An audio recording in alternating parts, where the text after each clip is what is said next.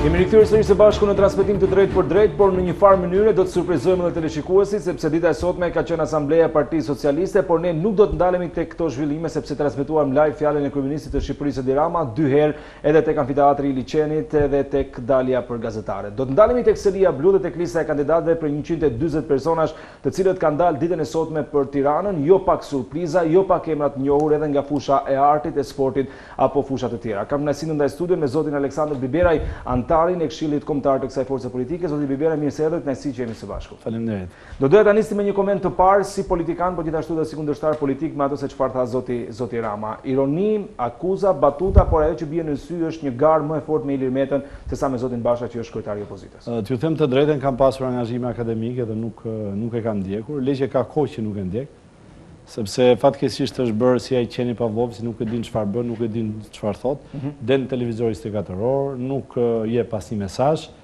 bën më mirë rolin e kryetarit të opozitës se sa të kryetarit të qeverisë. Lexova kur po vija këtu që Bënte me përgjegjësi presidentin po. dhe kryetarin e opozitës për situatën në Shqipëri, mhm. pra problemi qenkan këta dy. Dhe jo për të debatuar me të, por Çirçili po. ka një shprehje të famshme që problemi është qeverisja. Dhe qeverisja është ky me ekipin e vet, që nuk janë socialistë, janë sekti i Rilindjes. Kështu që Ai përpara se të mendojë, të ëndrrojë, të fantazojë për mandatin e tretë, duhet t'u japë llogari shqiptarëve se çfarë ka bërë gjatë këtyre tetë viteve. E qartë. Por nuk ia vlen për të debatuar me të se nuk thotë, nuk thotë asnjë gjë. Zoti Biberaj, rikthehemi tek zhvillimet e rëndësishme në Partinë Demokratike. Kanë dalë ditën e sotme njëqind e dyzet emrat në garën për tridhjetë e gjashtë vende në listë dhe më pas sa vende mund të fitohen në në Parlamentin e Shqipërisë në Qarkun e Tiranës. Ju keni bindjen që emri juaj do të jetë midis listës përfundimtare fituese duke marrë parasysh se në fakt janë një sërë emrash të njohur, një sërë emrash të cilët kanë qenë pranë Partisë Demokratike edhe artistë apo edhe edhe komedianë për shembull të cilët ndoshta në një farë mënyre mund ta kenë elektoratin e tyre edhe si publik i një forme tjetër? Natyrisht që ka qenë që nga njëzet e pesë qershori një fushatë, do thosha, dinjitoze brenda Partisë Demokratike, një fushatë e cila po e unifikon partinë, po e bashkon, po e rivitalizon dhe po e bën gati për zgjedhjet e njëzet e pesë prillit. Ka pasur pra një shprehje të lirisë dhe demokracisë brenda partisë dhe ka qenë një demokraci direkte pasi janë anëtarët e partisë të cilët kanë marrë pjesë në mbledhjet e seksioneve, grupseksioneve, fazën e parë që ishin propozimet, Janë bërë disa selektime nga Komisioni i Vlerësimit të Figurave dhe tashi është faza tjetër e votimit nga anëtarësia, e cila ka shkuar mirë, ka qenë proces i rregullt, ka pasur pra votime të lira, të ndershme dhe demokratike dhe kjo është premisa më e mirë që qeverisja e nesërme e Partisë Demokratike dhe e aleatëve tonë opozitarë do të jetë një qeverisje demokratike. Zoti Biberaj, paçka kësaj që thoni ju, në fakt nuk kanë munguar zërat kundër edhe nga figura të rëndësishme të Partisë Demokratike. Unë kisha para disa ditësh ish-deputetin e Beratit, zotin Astrit Veliaj, i cili shprehte hapur pakënaqësinë e tij në lidhje me procesin sepse mbeti jashtë, po gjithashtu ditën e djeshme edhe Klevis Balliu, zëri më i fortë opozitar tek protesta e banorëve të Astirit ka mbetur jashtë këtyre listave dhe jo pak, por me treqind e dhjetë vota kundër nga katërqind e pesëdhjetë anëtarë. Keni një koment në lidhje me këto dy raste për t'u ndalur më pas edhe për emra të tjerë që ndoshta kanë një kontribut më të vogël në Partinë Demokratike? Natyrisht, përtej emrave, unë do të thosha që procesi ka qenë një proces shumë demokratik. Kam vlerësime shumë pozitive për të dy kolegët që ju përmendët. Dhe realisht ky grupi parlamentar aktual, pra i kësaj legjislature, është grup i sakrificës, është grup i margjinalizuar nga situata politike, sepse është grup që i ka djegur mandatet. Pra është një sakrificë që iu takoi ta bënin këta deputetë dhe absolutisht ata meritojnë nder, respekt dhe mirënjohje nga gjithë demokratët. Mhm. Natyrisht ka qenë një lajm jo i mirë, do thosha që nuk janë votuar nga strukturat, por do kemi parasysh që nuk mund të gjykojmë as të paragjykojmë një proces votimit të lirë dhe demokratik. Gjithsesi ata janë kolegë të nderuar dhe patjetër do të jenë pjesë e rëndësishme e ekzekutivit të qeverisë së Partisë Demokratike dhe të aleatëve tonë. Zoti Biberaj, nisur edhe nga karriera juaj politike se përmendët djegien e mandateve. Meqenëse listat në një farë forme po i quajmë janë sërish të mbyllura, e kishte për detyrë kryetari i partisë, qoftë zoti Basha tek Partia Demokratike dhe zonja Kryemadhe tek LSI-ja, që në shenjë respekti dhe nderi ndaj asaj që bëjnë këta deputetë të paktën t'u garantonte emrat në listat e vitit dy mijë e njëzet e një? Natyrisht që nëse futesh një proces demokratik, patjetër duhet ta pranojmë procesin dhe rregullat e lojës. Unë mendoj, nuk po flas për LSI-në, sepse... është forcë tjetër politike, është forcë tjetër politike, kanë rregullat e veta, por unë mendoj që zoti Basha ka marrë një vendim shumë të drejtë për të futur në votim, edhe anëtarët e kryesisë, që natyrisht janë bashkëpunëtorët më të më të afërt të zotit Basha, edhe grupin parlamentar dhe anëtarët e Këshillit Kombëtar. Mendoj se ka qenë mendim i drejtë, me gjithë risqet po themi siç janë rastet që ju përmendët. Pra është një proces që nuk mund të lidhet me emrat e përveçëm. Ju mendoni që është një proces që vërtet e unifikon Partinë Demokratike, e bashkon, e rivitalizon dhe na bën gati për fushatën elektorale. Ju mendoni që baza në Tiranë nuk ka lidhje në lidhje me atë se çfarë voton anëtarësia në rrethe zoti Biberaj? çdo çdo njësi çdo njësi e Partisë Demokratike natyrisht ka ka pavarësinë e vet, sepse kështu funksionon demokracia. Mhm. Jo, nuk ka as ndërhyrje as udhëzime, për këtë jam më se i bindur. E qartë. Nuk ka asnjë lloj udhëzime, asnjë lloj ndërhyrje nga lidershipi i Partisë Demokratike. Asnjëherë kur ka proces votimi, nuk përjashtohet mundësia e lobingut dhe pranohet. Jo, sigurisht, është... Lobingu është... Është gjë normale. Është normë më se normale, elementare e demokracisë. Zoti Biberaj, ju jeni nga ata persona që keni qenë i pakënaqur me Partinë Demokratike, jeni larguar drejt një force tjetër politike, por përsëri keni gjetur një vend dhe jeni rikthyer ndoshta duke mbyllur një sy dhe një vesh në lidhje me me ato se çfarë kanë ndodhur në në të shkuarën. Partia Demokratike, gjatë kësaj kohe që ju jeni brenda saj, e shikoni që ka ndryshuar për mirë, ndoshta ndalemi pak edhe tek lidershipi i i zotit Basha, ka qenë rruga më e mirë e duhur për të bërë opozitë, duke përfshirë edhe djegien e mandateve, edhe gjithë gjërat që më pas Edi Rama i bëri vetëm me kartonet e opozitës jashtëparlamentare? Do të kemi parasysh që unë nuk kam qenë dakord me një pjesë të qeverisjes së Partisë Demokratike, jo me Partinë Demokratike, Unë asnjëherë nuk jam shkëputur nga demokratët. Normalisht kur je në qeverisje dhe sheh që ministra të qeverisë tënde të votuar nga qytetarët shqiptarë dhe nga deputetët nuk zbatojnë programin, patjetër që do të ketë debate. Po. Kjo është gjithë historia. Dhe në momentin që partia del në opozitë, problemi është tek qeverisja. Mhm. Unë kur s'kam qenë dakord, as nuk jam dakord dhe kritikoj çdo opozitë opozitës. Është një fenomen tipik shqiptar. Është një fenomen vetëm shqiptar dhe kryesisht i sponsorizuar. Sepse nuk mundet të bësh opozitën e opozitës. Opozita nuk ka asgjë në duar të veta. Po. Problemi është po, qeverisja. Përveç mëkateve. Opozita s'ka mëkate, çfarë jo, mëkate s'ka? Në qoftë se ka, në të shkuarën, po të mos kishte opozita do ishte akoma në pushtet për shembull. Mëkatet e një e një pushteti mbarojnë ditën që del në opozitë. Jo, nuk është. Duhet t'i ndajmë gjërat. Nuk duhet të jetë kështu. Dhe do kemi parasysh ka do i dhënë vetëm falje. Do kemi parasysh që Partia Demokratike ka një lidership të ri. Po të shikosh të gjithë anëtarët e Kryesisë, anëtarët e Këshillit Kombëtar, edhe grupin parlamentar që ishte i zgjedhur në vitin dy mijë e shtatëmbëdhjetë, janë janë të rinj. E qartë. I jepet e drejta lidershipit të ri të largojë figurat e vjetra. Ekzekutiv. Zoti Biberaj, i jepet e drejta një lidershipi që për për hir të asaj që është i ri të largojë figurat e vjetra? Nuk bëhet fjalë për largime. Partia Demokratike ka qenë dhe mbetet e hapur. E qartë. Natyrisht, zoti Basha është një lider i ri që ka dhe një mentalitet perëndimor, sepse ka studuar dhe punuar për shumë vite në Perëndim. Mhm. Natyrisht që do kemi parasysh se politika është edhe cikël, ë? Absolutisht. Në qoftë se e ke plotësuar një cikël të caktuar, nuk mund të jesh më në lidership, por je pjesë e asaj partije. Mhm. Pastaj a rrinë apo nuk rrinë është problem tjetër, është zgjedhje personale e gjithsecilit. Por nuk pajtohem kategorikisht me sulmet që i bëhen sot Partisë Demokratike nga ish-kolegë, po. për të cilët mund të kem një, një vlerësim pozitiv, nuk ka rëndësi, po. por unë mendoj që problemi është majoranca. Dhe problemi është, është qeverisja e sotshme. është qeverisja më, më antipopullore, më antikombëtare, qeverisja më e korruptuar që ka pas Shqipëria të paktën gjatë 30 viteve të fundit. Zoti Biberaj, plotësimi i cikleve në politikë që sapo përmendët, mos është një mesazh edhe për zotin Berisha? Kur flas për një cikël politik, do kemi parasysh lidershipin.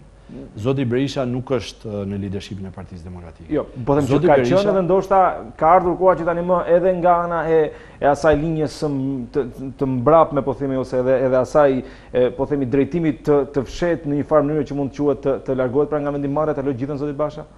Zoti Basha është kryetar i Partisë Demokratike dhe ka një mandat të plotë. De jure dhe de facto? De jure dhe de facto. Dhe po jua garantoj sepse shpesh herë edhe më pyesin njerëzit e debatohet e diskutohet. Po. Unë unë e njoh shumë mirë Partinë Demokratike, që nga dita e parë. E njoh shumë mirë zotin Berisha, e njoh shumë mirë zotin Basha. Me të dy kam pasur dhe kam marrëdhënie të shkëlqyera. Ju garantoj që zoti Berisha nuk ndërhyn në asnjë lloj vendimi të zotit Basha. E qartë. Nëse ka një konsulencë nga larg, Është krejt e pranueshme. Zoti Berisha sot nuk ka asnjë lloj mandati. Nuk është as anëtar i kryesisë, nuk është as në lidershipin e Partisë Demokratike, nuk është as deputet sepse deputetët kanë djegur mandatet, natyrisht ai ka investimin e vet në politikë. Dhe vendimin e merr zoti Berisha. Unë po bëj një paralelizëm, të paktën për arsye për arsye të eksperiencës politike, sot në SHBA ne kemi dy kandidatë ku njëri është shtatëdhjetë e shtatë vjeç dhe tjetri është shtatëdhjetë e katër vjeç. Mhm. Senatori Biden ka shërbyer tridhjetë e gjashtë vjet senator dhe tetë vjet si zëvendës president i presidentit Barack Obama. Po.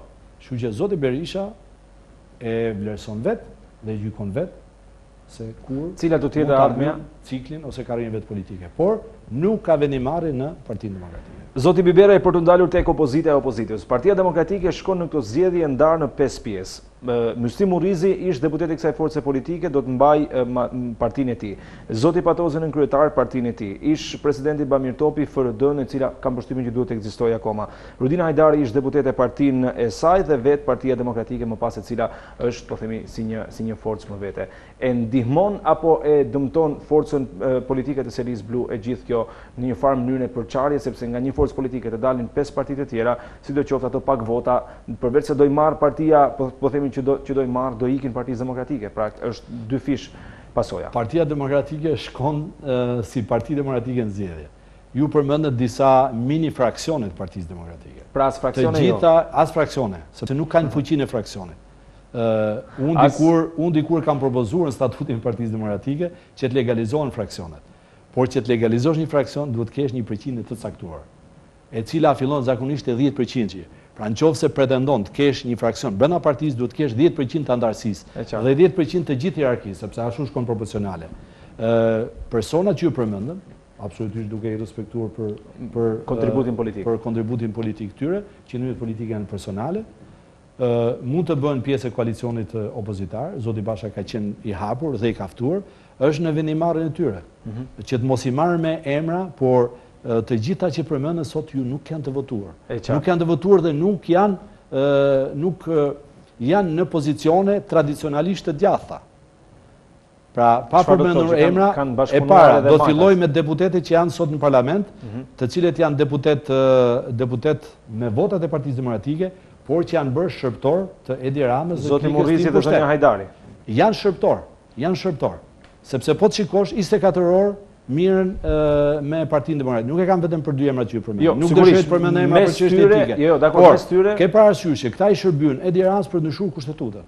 dhe është një dëm jashtëzakonisht i madh që i është bërë demokracisë, ndërkohë që janë me votat e demokratëve atje. E qartë. Por pa siglën dhe pa logon e PD, sepse Partia Demokratike është jashtë është jashtë parlamentit. Gjithsesi, gjithsesi, unë jam i bindur që secili prej tyre nëse dëshiron të bëhet pjesë e aksionit opozitar, e lëvizjes opozitare, për të fituar zgjedhjet, e ka vendin në koalicionin qeveritar. Pa asnjë lloj gjykimi dhe paragjykimi. Shkurtimisht ndalemi po. pak edhe tek kjo pjesë. Ju, zoti Biberaj personalisht, ndjeni po themi një farë ndjese ose një farë keqardhje që mund të keni shërbyer për të krijuar ndonjërin prej këtyre pesë fraksioneve, katër fraksioneve? Jo, nuk nuk jam pishman për asnjë gjë që kam bërë në jetën politike, sepse gjithçka e kam bërë për arsye parimore. Jam iniciator dhe kam krijuar Frymën e Re Demokratike me profesorë me studentë. Ka qenë një gabim fatal ftesa për Bamir Topin, i cili nuk e meritonte. Nuk meritonte as ato që ka që ka marrë nga Partia Demokratike, nuk meritonte as atë parti dhe jam ndarë për arsye të mungesës së predispozicionit për të bërë koalicion me Partinë Demokratike. Unë e kam konsideruar gjithmonë veten pjesë të Partisë Demokratike, kam qenë dhe jam pjesë asaj partie. Mhm. Në vitin 2013 kam kërkuar koalicion me Partinë Demokratike, për të cilën zoti Topi e disa bashkëpunëtorë të tij nuk kanë pranuar dhe natyrisht unë jam shkëputur dhe Po e mbani mend, kam kërkuar që të kandidoj për për kryetar të Partisë Demokratike. Unë jam pjesë e asaj partie. E qartë, po, sigurisht. Dhe asnjëherë nuk kam bashkëpunuar, as nuk bashkëpunoj me të majtën, sepse filozofia ime, trashëgimia ime është e djathtë e qendrës. Më dole tamam në shteg. Pa gjykuar dhe pa paragjykuar natyrisht asnjë bindje të majtë, asnjë Më dole tamam në shteg. Si një si një student i dhjetorit të vitit një mijë e nëntëqind e nëntëdhjetë që rrëzuat sistemin diktatorial, një sistem i cili mund të konsiderohet deri diku i majtë për ju është i frytshëm ose partia demokratike e ka nevojën e lëvizjes socialiste për integrim që të vijë në pushtet pra nuk vjen dot pa LSI-në? Do kemi parasysh që një koalicion përveç llogaritjes së numrave pra përveç pragmatizmit mendoj se ka edhe elemente të bashkëpunimit politik ne ka katër vite që bashkëpunojmë me LSI-në dhe me partitë e tjera Dhe unë mendoj që nuk është as etike as morale që tani në prag të zgjedhjeve ne të ne të largojmë të largojmë aleatët tanë. Pra kemi qenë 4 vite në opozitë. Qofshin ata dhe të majtë. Dhe do do të vazhdojmë dhe do të vazhdojmë deri në fitoren e 25 prilit. Natyrisht që zgjedhjet do të tregojnë fuqinë politike të çdo partie politike. E qartë. Kuptohet që raporti i numrave pastaj, pragmatizmi politik të detyron të bësh koalicione edhe me të djathtën e qendrës, edhe me të djathtën që është më djathtas se sa qendra, natyrisht edhe me partitë e qendrës dhe dhe me me partitë e majta, siç është rasti i Lëvizjes Socialiste për Integrim, që është parti e majtë. E qartë. Zoti Veliaj hodhi një tezë interesante në fakt para pak ditësh që e kisha të ftuar në studio, për të mos u ndalur tek emri personal, po thjesht tek fakti që politika shqiptare tha mund të ndryshojë në momentin kur kryetari i forcës politike propozon dikë tjetër për kryeministër. Në këtë rast zoti Basha tha do të ishte më i fuqishëm, do të kishte më tepër reputacion dhe prezencë në Partinë Demokratike, në qoftë se do t'ia linte dikujt tjetër postin e kryeministrit dhe në këtë mënyrë do të kuptohej që në fakt e gjithë lufta opozitare nuk ka qenë për karrigen e tij. Ne kemi pasur modele të ndryshme në Partinë Demokratike. Në vitin nëntëdhjetë e dy që kemi fituar zgjedhjet më njëzet e dy mars, zoti Berisha që ishte kryetar partie është bërë president. Po. Zoti Selami u bë kryetar i Partisë Demokratike, ndërkohë që zoti Meksi që ishte anëtar i kryesisë u bë Edhe kryeministër, pra i kemi pas postet e ndara. Por këtë modelin që kryetari i partisë të jetë kandidat për kryeministër, e kemi marrë nga partitë popullore evropiane, por e kanë shumica e partive në në nivel global, do të thosha. Po shikosh edhe të djathtë edhe të majtë, dalin me kryetarin e partisë që është kandidat për kryeministër.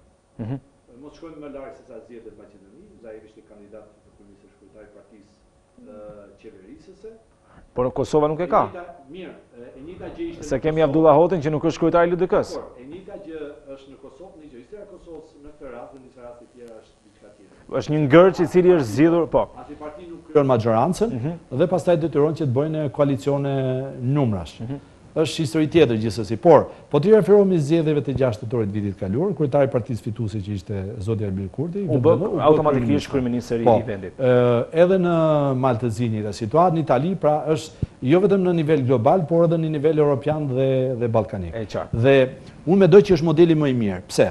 Sepse mund të lindë një dualizëm ndërmjet kryeministrit dhe kryetarit të partisë. Dhe partia mund të ketë mund të ketë edhe përçarje.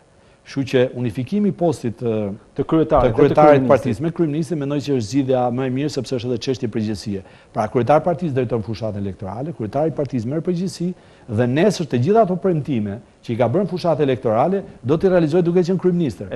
Po të jetë një kryeministër tjetër, mund të mund të fillojnë problemet, është më e vështirë. Zoti Biberaj, janë modele të provuara. Po vim drejt fundit të kësaj interviste, po ju personalisht pas 30 vitesh karrierë në politikë, e synoni një post në kabinetin e nesërm të Bashës në qoftë se ai fiton në zgjedhjet e 25 prillit, e kam fjalën një post ministror?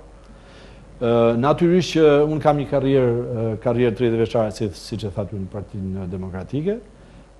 Jam krenar për karrierën politike. Natyrisht në Shqipëri nuk është se politika ka shkëlqyer, por unë po them në mënyrë modeste jam përpjekur që të jap mhm. kontributin tim. Për mua është jashtëzakonisht e rëndësishme fitorja e Partisë Demokratike dhe aleatëve tanë. E qartë. Nuk është shumë i rëndësishëm pozicioni i Aleksandrit, unë sot jam profesor në universitet. pa pa qenë jo modest, do thosha, mendoj se jam i arrirë në në fushën time. Në, në, në profesionin tim. Në qoftë se të bën ministër arsimi, zoti... Ajo mbetet për të, për t'u parë në të ardhmen, por nuk është se... Pra nuk po e mohojmë si, si mundësi. Jo, nuk është se synoj... për të batutës, po. Për të qenë, për të qenë pjesë e ekzekutivit ose legislativit. Pra gjërat vijnë vijnë natyrshëm. Vijnë natyrshëm. Për mua është është shumë e rëndësishme fitorja e madhe. Pastaj unë gjithmonë kam pasur parimin, ndoshta edhe 30 vite që kam qenë një farë mënyrë 23 vjeçar, thosha studentëve të dhjetorit ka vend për gjithë. Ka vend për gjithë. Dhe vërtet demokracia është një sistem që ka vend për gjithë. Pastaj në bazë të aftësive, në bazë të kontributeve, në bazë të vlerave, bëhen edhe diferencime, raporteve, sensibiliteteve të ndryshme, krijohet edhe edhe parlamenti qeveria, por jam i bindur që Partia Demokratike do të ketë një grup parlamentar shumë cilësor, sepse ka vërtet kandidatë të propozuar shumë cilësorë, dhe do të ketë një qeverisje shumë cilësore, që do bëjë diferencën me historinë 30 vjeçare. Pyetjen e fundit e kemi nga kolegja, Migena. Po. Zoti Biberaj, a ka një emër të përveçëm në atë grupimin e të pakënaqurve të larguar tashmë nga Partia Demokratike që do doni ta veçonit dhe ta shikonit në parlamentin e Shqipërisë si një kontribut i çmuar dhe cilësor? Natyrisht unë mund të kem vlerësime pozitive për për kolegë të ndryshëm. Nuk mund të përmend emra. Unë përfitoj nga rasti për të bërë thirrje që t'i bashkohen opozitës për të ndryshuar realitetin në Shqipëri. Nëse dëshirojnë të kandidojnë me koalicionin opozitar, janë të mirëpritur dhe ka kohë, sepse jemi disa muaj përpara zgjedhjeve. Nëse do kandidojnë pastaj si të pavarur ose me parti të reja, është punë e tyre, unë do t'u uroja suksese në vetëm majtas të mos të mos shkojnë në zgjedhjen e tyre, por absolutisht nuk do të isha dhe nuk jam dakord që ato të kalojnë majtas dhe të vazhdojnë të sulmojnë opozitën. Zoti Biberaj, faleminderit kënaqësi që ndamë këtë hapësirë së bashku. Faleminderit, ishte kënaqësi. Kemi ardhur kështu në fund të kësaj hapësire të drejtpërdrejtë, pak reklama, rikthehemi me të tjera zhvillime.